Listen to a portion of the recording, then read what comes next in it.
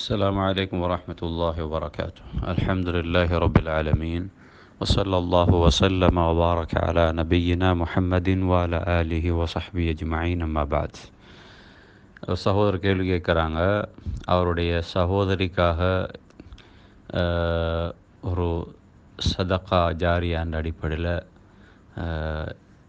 ஒரு வீட்டுக்கு உதவி செய்யலாமா அதாவது வசதி இல்லாமல் வாழக்கூடிய ஒரு வீட்டாருக்கு அவங்களோட வீட்டை சரி செய்து கொடுத்து அந்த உதவியை செய்ய முடியுமா? அது சதக்கா ஜாரியாவாக அமையுமா என்ற ஒரு கேள்வி கேட்டிருக்கிறாங்க.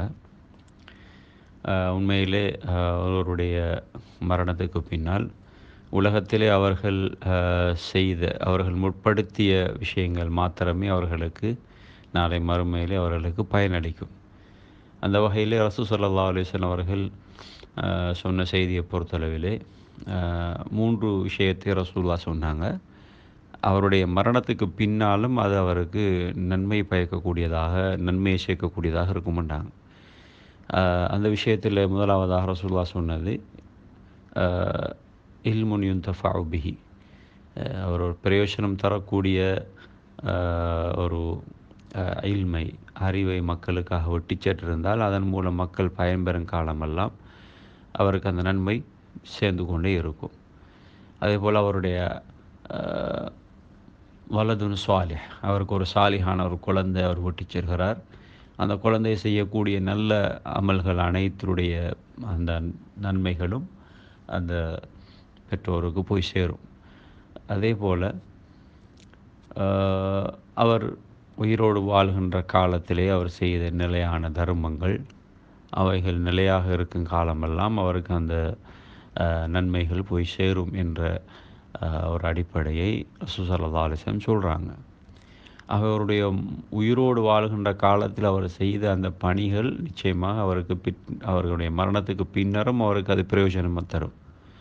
இப்போ என்ன பிரச்சனைன்னு சொன்னால் அவர் ஒரு மரணித்து விட்டார் என்றால் அவர் சார்பாக மற்றவங்க செய்ய வேண்டிய விஷயத்தில் இஸ்லாம் சொல்லக்கூடிய அடிப்படைகளாக ஒன்றில் இவ்வாறான தான தர்மங்கள். அதே போன்று அவர் மீதி கடமையாக அவர் விட்டு சென்றிருந்த சில அதாவது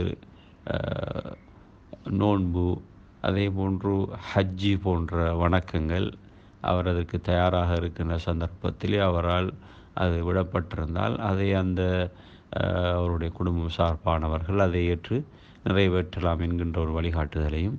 அதே போல் இந்த அவருக்காக ஒன்று செய்யப்படுகின்ற துவாக்கள் தனிப்பட்ட ஒவ்வொருத்தரும் துவா கேட்க வேண்டும். அந்த துவாக்கள் அவர் சார்பாக ஏற்றுக்கொள்ளப்படும் என்கின்ற செய்தியை ரசூசல்லா அலுவலம் பல ஹதீதுகளிலே குறிப்பிட்டிருக்கிறார்கள்.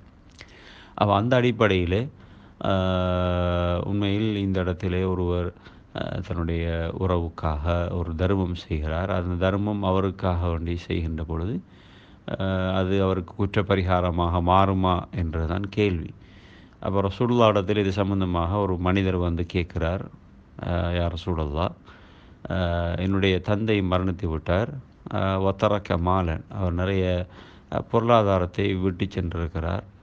ஆனால் அவர் வந்து அந்த பொருளாதாரத்தை தர்மம் செய்ய வேண்டும் என்று லம் யூசி அவர் வந்து எனக்கு வசியத்து பண்ணவும் இல்லை.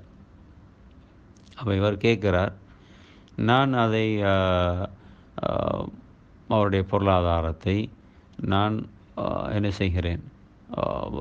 தர்மம் செய்கிறேன் என்று சொன்னால் அது அவர் குற்றப்பரிகாரமாக ஆகுமா என்று கேட்கின்ற போது சுசல்லா அலி செல்லம் ஆமாம் அப்படி அது அவருக்கு குற்றப்பரிகாரமாக ஆகும்னு சொல்கிறாங்க அப்போ இதில் பல விஷயங்கள் அறிய வேண்டியிருக்கிறது. அதாவது மரணித்து போனவர்களுக்கண்டு சொத்துகள் இருந்து அவங்க வசியத்து பண்ணினாலோ அல்லது வசியத்து பண்ணாமல் மரணித்து விட்டாலோ அவருடைய சொத்துக்களிலிருந்து செய்யப்படுகின்ற தர்மங்களுக்கான அந்த கூலி நிச்சயமாக அவர்களுக்கு போய் சேரும். இப்பொழுது என்னுடைய பொருளாதாரத்திலிருந்து நான் அவர்களுக்காக வேண்டிய தர்மம் செய்கின்ற பொழுது அது அவர்களுக்கு போய் சேருமா என்றதுதான் ஆஹ், அறிஞர்களுக்கு மத்தியிலே அது ஒரு கருத்து முரண்பாடான விஷயமாக இருக்கிறது. காரணம் என்னன்னு சொன்னால் ஏன்னா உலகத்தில் அப்படி என்றால் எல்லாருமே என்ன தர்மம் செஞ்சு தர்மம் செஞ்சு எல்லாரையும் சொர்க்கவாதியாக மாற்றிவிட முடியும். அதாவது சொர்க்கவாதிக்கும் நரவாதிக்கும் ஆஹ், பாவங்கள் செய்தவருக்கும் இடையில் உள்ள வித்தியாசம் இல்லாமல் போய்விடும். ஆகவே இங்கே ஒருவருடைய சொத்தில் இருந்து செய்யப்படுகின்ற தர்மங்கள் அவருக்கு ஊட்டப்பரிகாரமாகும் என்ற அதிதில் பார்க்குறோம். அதே நேரத்தில் அந்த குடும்ப உறவுகளுக்குள்ளே இருந்து மகன் செய்யக்கூடிய ஆஹ், அந்த தகப்பனுக்காக தாய்க்காக செய்யக்கூடிய சில விஷயங்கள் அதே நேரத்தில் அவர்கள் செய்யக்கூடிய அமல்களிலிருந்து குறைவின்றி அவர்களுக்கு போய் சேருகிறது. அது அல்லாமல் மற்ற ஏனையவர்கள் உலகத்தில் இருக்கக்கூடியவர்கள் ஒரு ஒரு ஆணுக்காக ஒரு பெண்ணுக்காக வேண்டி அவர்கள் தன்னுடைய பொருளாதாரத்தை தர்மம் செஞ்சு அல்லது அவர்கள் இபாதாக்களை செஞ்சு அவர்களுக்கு சேர்ப்பிக்க முடியும் அவர்களுக்கு அது நன்மையை போய் சேர்க்க முடியும் என்ற விஷயம் அது வந்து மார்க்கத்திலே அனுமதிக்கப்பட்ட ஒன்றாக பார்க்கப்படவில்லை என்பதை நாங்கள் புரிந்து கொள்ள வேண்டும். ஆகவே இஸ்லாம் சொல்லுகின்ற விஷயத்தில் நாங்கள் அந்த ஹதீதுகளை வைத்து பார்க்கின்ற பொழுது இங்கே அனைத்து ஹதீதுகளிலும் அந்த குடும்பத்தை சார்ந்தவர்கள் அந்த மரணித்தவருடைய குடும்பம் சார்பானவர்கள் அவருடைய கடமைகளை நோம்பு ஹஜ்ஜி தர்மம் இப்படி போன்ற விஷயங்களை நிறைவேற்றிருக்கிறார்கள். அவர்கள் அல்லாதவர்களுக்கு இஸ்லாம் என்ன செய்யவில்லை. நன்மைகளை சேர்ப்பிப்பதற்காக இவ்வாறான விஷயங்களை சொல்லவில்லை என்ற ஒரு விஷயமும் அந்த ஹதீதுகளிலே மறைந்திருக்கிறது.